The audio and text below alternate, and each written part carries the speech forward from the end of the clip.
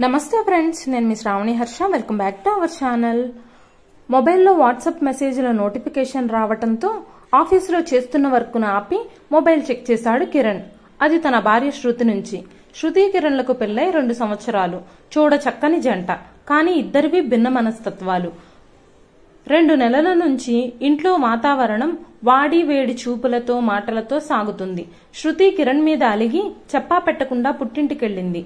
రెండు నెలల క్రితం కిరణ్ ఆఫీస్ నుంచి ఇంటికి వెళ్ళగానే తలుపుకు తాళం వేసి ఉంది. శృతికి ఫోన్ చేస్తే లిఫ్ట్ చేయట్లేదు. మెసేజ్ పంపితే చూస్తుంది కానీ రిప్లై ఇవ్వడం లేదు. ఇదిగో ఇప్పుడు ఈరోజు శృతి నుంచి ఫోన్.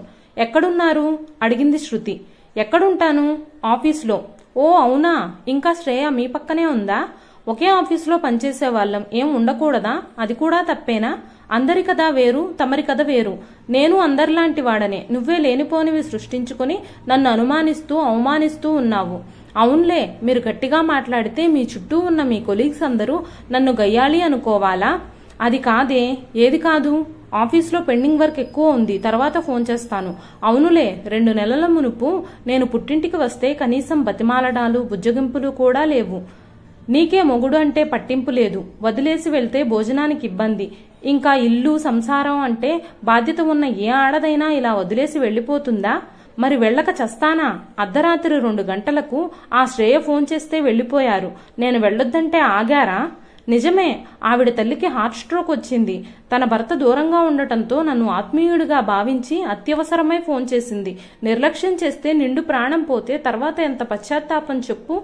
ఎందుకు పశ్చాత్తాపం? ఆవిడేమైనా మీ అమ్మ? లేక మా అమ్మనా? దారిన పోయే వాళ్ళందరి సమస్యలు మనకు అవసరమా?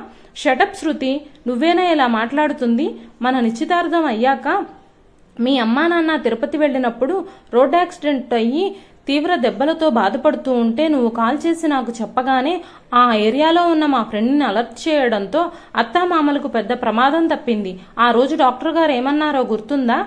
ఇంకాస్త ఆలస్యం అయి ఉంటే వాళ్ళు మీకు దక్కేవారు కాదు అని. ఆ రోజు నువ్వు నన్ను ఎంత మెచ్చుకున్నావో గుర్తుందా?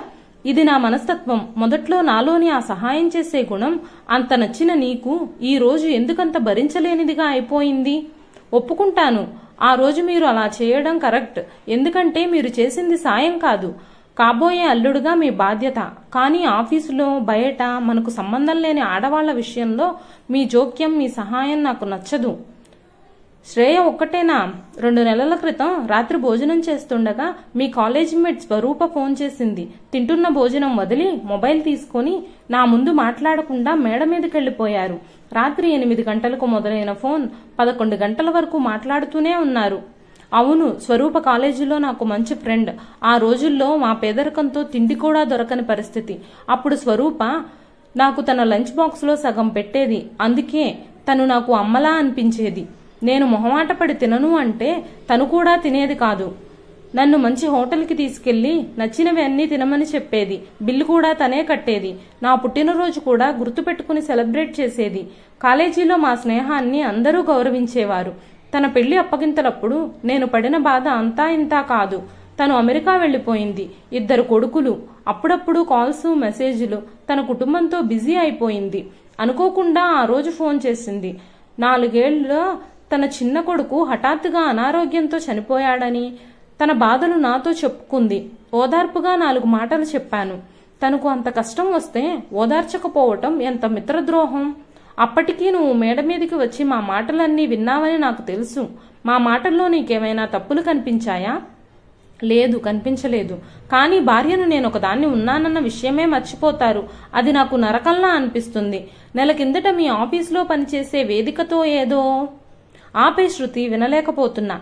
మా ఆఫీసులో పనిచేసే వేదిక చాలా మంచి అమ్మాయి. ప్రేమ పేరుతో అరుణ్ తనని మోసం చేశాడు. తర్వాత మొహం చాటేశాడు. ఆ అమ్మాయికి అర్జెంటుగా అబార్షన్ చేయాల్సి వచ్చింది. హాస్పిటల్లో తన భర్త ఈ మధ్య యాక్సిడెంట్లో చనిపోయాడని నేను వేదిక అన్నయ్యను అని చెప్పి సంతకం పెట్టాను. ఈ విషయం నీకు తెలిసిందని నాకు తెలుసు. నీకు తెలియని ఇంకో విషయం.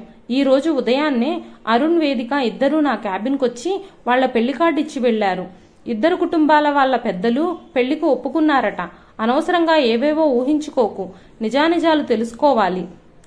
ఇదేనా? మీ మేనత్త కూతురు. అదే ఆ సుజాత. ఇప్పటికీ నిన్ను పెళ్ళి చేసుకోలేదని తెగ బాధపడుతూ ఉంటుందట. మీ పేరును పచ్చబొట్టు కూడా వేయించుకుందట. మరి సుజాత సంగతి ఏంటి చూడు బుజ్జమ్మ సుజాత నా అత్త కూతురు. నీకు తెలియందేముంది? పల్లెటూరు బంగారం కడిగిన ముత్యం. మంచి మనసున్న అమ్మాయి. తనకు నేనంటే చాలా ఇష్టం. నన్ను చాలా ప్రేమించిందట. నాతో జీవితం పంచుకోవాలని ఎన్నో కలలు కందని నా పేరు పచ్చబొట్టు వేయించుకుందని తను పెళ్ళయ్యే వరకు నాకు తెలియదు. మా బామ్మ చెప్పాక తెలిసింది. సంవత్సరం క్రితం సుజాత భర్త చనిపోవడం మా కుటుంబంలో అందరి మనసుల్ని కలిచివేసిన విషయం. నీకు తెలియదా? చిన్న వయసులోనే ముగ్గురు పిల్లలు. భర్త మరణం సుజాత మనసును మానసికంగా ఎంత కృంగదీసి ఉంటాయో? అర్థం చేసుకోలేవా? అందుకే తన బావగా బాధ్యత తీసుకుందాం అనిపించింది. అందుకే టీచర్ ట్రైనింగ్ కోసం ఎంట్రన్స్ రాయించాను. ఇప్పుడు టీటీసీ చేస్తోంది. ఉద్యోగం తెచ్చుకుని సుఖంగా బ్రతుకుతుంది. ఇప్పుడు తనకు నా అవసరం తోడు తప్ప ఎటువంటి ఆశ లేదు. నేను కూడా అంతే. ప్రతిదాన్ని తప్పుగా అర్థం చేసుకోకు. నువ్వంటే ఇష్టమే బుజ్జమ్మ. కాదు నా జీవితమే నువ్వు. వెన్నెల్లో నీతో కబుర్లు నీ చేతి గోరుముద్దలు నన్ను పసివాణ్ణి చేస్తాయి. నువ్వు నాతో లేకుంటే ఎలా ఉందో తెలుసా? నాలోని జీవం నన్ను వదిలేసినట్టుంది. తల్లి ప్రేమ కోసం రోధించే పసిహృదయంలా నీ కోసం రోజు ఎదురు చూస్తున్నాను. నా మీద అలకమాని వచ్చే బుజ్జమ్మ ప్లీజ్. ఇంతగా ఎలా మాట్లాడుతున్నారు? చూద్దాం. మనసు మారితే బయలుదేరి వచ్చేస్తా. లేకపోతే మీరే వచ్చి తీసుకెళ్ళండి అంది ముసిముసిగా నవ్వుతూ. ఆఫీస్లో వర్క్ ఉంది. సాయంత్రం బయలుదేరి వస్తా. మీకోసం ఎదురు చూస్తూ ఉంటాను. ఫోన్ కాల్ ముగియగానే ఇద్దరు మనసుల్లో తేలిక వాతావరణం. సాయంత్రం కిరణ్ వచ్చాడు శృతిని తీసుకెళ్ళడానికి. అత్తమామల పలకరింపులు భోజనాలు అయ్యాక శృతితో అన్నాడు రేపొద్దున్నే మనం ఇంటికి వెళ్ళిపోదామా అని. క్షమించండి నేనే మిమ్మల్ని బాధ పెట్టాను. అనవసరంగా అలిగి వచ్చేశాను అంది కన్నీళ్ళతో. ఉదయాన్నే బట్టలు సర్దుకొని రెడీగా ఉంది కిరణ్ లేచేసరికి. ఇద్దరూ కలిసి తమ ఇంటికి వెళ్ళారు. కిరణ్ ఆఫీస్కు వెళ్ళాక శృతి తన గది శుభ్రం చేసి కిరణ్ చాలా మంచివాడు. పెళ్ళైన కొత్తలో కిరణ్కి చాలా కోపం అని వాళ్ళ అమ్మ వాళ్ళు చెప్పారు. కానీ పెళ్ళయ్యాక చాలా మారాడు. నా మీద ఎప్పుడూ కోపం చూపించలేదు. ప్రతి పరిస్థితుల్లో నన్ను అర్థం చేసుకుని సహాయం చేసేవాడు. నేనే చాలాసార్లు అనవసరంగా కిరణ్ మీద కోపం చూపించాను. భార్యాభర్తల మధ్య వచ్చే గొడవలు నీటి మీద బుడగల్లా ఉండాలి. వెంటనే వచ్చి వెంటనే వెళ్ళిపోవాలి. వాళ్ళిద్దరి మధ్యలో ఉన్న ప్రేమ మాత్రం కలకాలం శాశ్వతంగా ఉండాలి. ఇంకెప్పుడూ కిరణ్ని వదిలి వెళ్ళకూడదు అనుకుంటూ ఇంటి పనిలో పడింది శృతి. ఈ స్టోరీ నచ్చితే లైక్ చేయండి. ఈ కథ పైన మీ విలువైన స్పందనని కామెంట్ రూపంలో మాకు తెలియజేయండి. Thank you for watching.